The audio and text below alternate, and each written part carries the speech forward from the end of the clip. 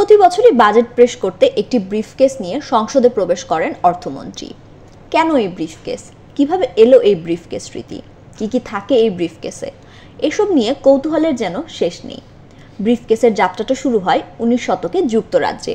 Walton fridge কিনে অনেকের মতো আপনিও হয়ে যেতে পারেন মেলেনিয়া সেরা পণ্যের সেরা অফার। আঠারোশো ষাট সালে ব্রিটেনের বাজেট প্রধান উইলিয়াম ই গ্ল্যাডস্টোন লাল একটি সুটকেসে করে বাজেট সংক্রান্ত নথিপত্র নিয়ে আসেন। পরবর্তীতে বিভিন্ন সরকারের আমলে এই ব্রিফকেস ব্যবহার হয়।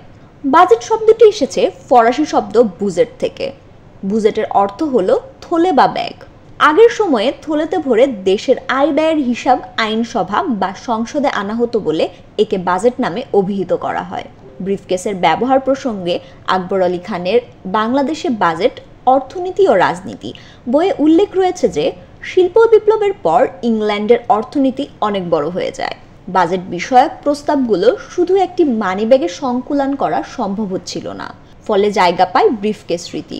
তবে ব্রিফকেস ব্যবহারের আরেকটি কারণ হলো বাজেটে নেওয়া সিদ্ধান্তগুলোর গোপনীয়তা রক্ষা।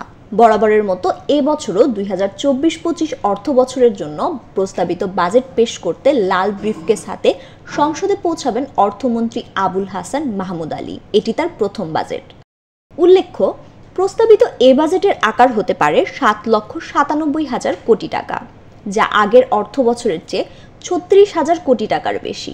চলতি অর্থ বছরে বাজেটের আকার ছিল সাত লক্ষ একষট্টি হাজার কোটি টাকা। এবারের বাজেটের প্রতিপাদ্য সুখী, সমৃদ্ধ, উন্নত, স্মার্ট বাংলাদেশ বিনির্মাণে অঙ্গীকার। প্রস্তাবিত বাজেটে মূল্যস্ফীতি নিয়ন্ত্রণে বেশ কিছু নিত্য প্রয়োজনীয় পণ্য, কর, ছাড় সুবিধা পেতে পারে বলে জানিয়েছে জাতীয় রাজস্ব বোর্ড সূত্র। ফাহমিদা সৃষ্টি, মানবজমিন।